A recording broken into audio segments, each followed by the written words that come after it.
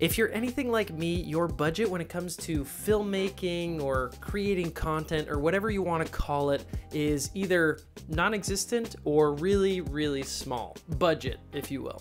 That's why today I want to talk to you about what I think is the best pound for pound bang for your buck off camera external monitor. And spoiler alert, it isn't the Atomos Ninja 5 let's get into it. So the monitor I'm reviewing today is the DesView R6 UHB right here. Uh, let's talk specs because that's all we really care about here. The DesView R6 features a pretty standard 5.5 inch touchscreen, full size HDMI in and out ports. Uh, it supports LPE6 batteries as well as NPF batteries and also has a DC option if you buy uh, cabling separately.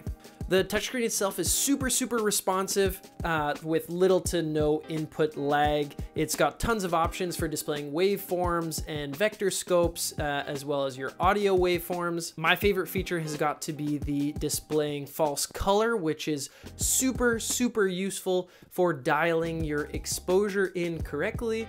Uh, and it's super lightweight. It comes in at around 240 grams, which is the weight of a DJI Mavic Mini. Editing Matt here, I realize I forgot to talk about one of my favorite aspects of this monitor, and it's the fact that you can upload custom LUTs and display them on your footage while you're recording.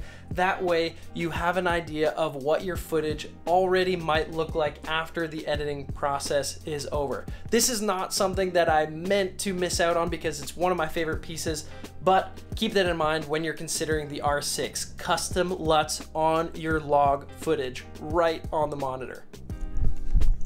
And here's the kicker for me, the R6 has 2800 nits of brightness, and that is crazy because you compare it to something like the Atomos Ninja 5, and the Ninja 5 only has 1000 nits, which is mind blowing that this almost has triple the brightness of the Ninja 5. Having 2800 nits means that you can film in full sun without needing some stupid looking sun hood, and you can actually just crank that brightness all the way up, and you never have to worry about not being able to see your monitor. Now, I know that I compared this to the Ninja 5, and I know that Atomos fanboys are to go crazy and hate that I said that, but I am just basing this review off of my personal experience, and I've never owned a Ninja 5, so you know what, if Atomos wants to send me one, sure, I'll do a review. But right now we're basing all of everything that I'm saying off of my own experience with the R6. I will add in the middle of this a disclaimer that I know the comparison between the Ninja 5 and the R6 is a little bit weird because the Ninja 5 has capabilities like external recording that the R6 simply does not. But for the difference in price, a whopping $400, I will you know, put up with SD cards and buy a bunch more for the same price and just swap SD cards instead of buying an external recorder and SSDs for that monitor.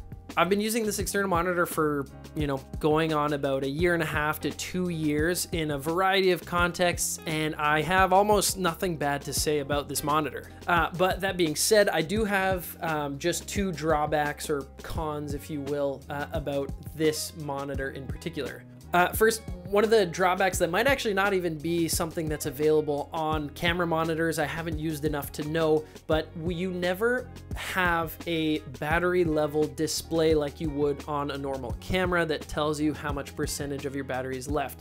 Uh, if you're like me, you're not going to be using necessarily something like a D-tap off of a V-mount battery, but you're actually just using the abundance of NPF batteries that you have. And it's tough because you'll most likely be facing a situation like me where your camera monitor dies in the middle of a shoot because you didn't know how much battery was left and you've simply just run out of NPF batteries. Uh, second, having no option for external recording is a little bit of a bummer. I know I listed that as a reason why you should get the R6 if you're looking for a budget alternative. But at the same time, if you're using an older filmmaking camera like I am, I'm filming this on the a7S II and that's been our workhorse for the last year, uh, you know that it just drains batteries like crazy and having an option for externally recording uh, would be a game changer just for the fact of saving a little bit of battery life here and there. So take that as you will. I mean, other than those two things, I really only have good things to say about this monitor. I don't, that's it. So in conclusion, next time you're in the market for an external monitor, but you're feeling like something in the Atomos line is just a little bit out of your current reach or a little bit out of your current budget, I would suggest you consider the Desview R6. I really do believe that if you want to take your filmmaking to the next level, an external camera monitor is going to take you there. Uh, and if you want to get started with something a little bit on the cheaper side without sacrificing quality, consider the R6. That's all I've got. Hit the like button if this helped you out or if you're considering picking up the R6. Drop a comment and tell me about your experience with the R6 if you've used one personally. My name is Matt, and I will catch you in the next one. Peace.